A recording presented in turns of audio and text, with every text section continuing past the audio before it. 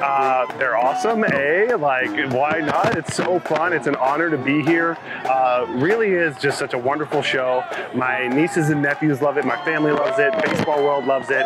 And uh, it's so much fun to be here. The energy is crazy. Uh, and they're so talented. What are you personally looking forward to doing tonight? Uh, dancing. I think the world needs more dancing, so I'm really nervous about it, but I'm really looking forward to it.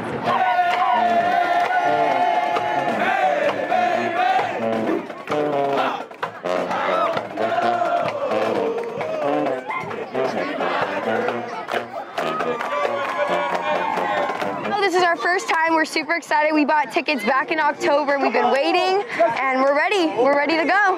What are you excited most about to see? Oh, I'm excited. I want to try to get in one of their TikToks. Um, so we're going to go in early, get all that, meet all the players. I made friendship bracelets that I'm going to hand out to the players. So we're ready. It's all about the show. You know, the name of our company is Fans First Entertainment, and Banana Ball, we're trying to create the greatest show in sports. So it's nonstop entertainment and baseball at a high level with new rules that are meant for the fan. It's been wild the amount of former major leaguers, all stars, Cy Young Award winners that have reached out to us. I mean, this year alone, we've had three Cy Young Award winners pitch for us. Uh, we've had over 10 World Series champions and all stars play for us. So they reach out to us. They want to be a part of it. And I think, you know, you play baseball and it's so serious, it's so competitive. You're all trying to compete to win one thing. Here, you're just going on a plane to have fun. And that's how most of these guys started as kids. And that's what we're trying to get more of. And so to see Hunter reached out right away back in the fall, he said, I want to be a part of this. We've had video calls, Zooms, we've been on a group text message he's got a lot of ideas. We're going to test a lot of them tonight, and he's a perfect fit for Banana Ball.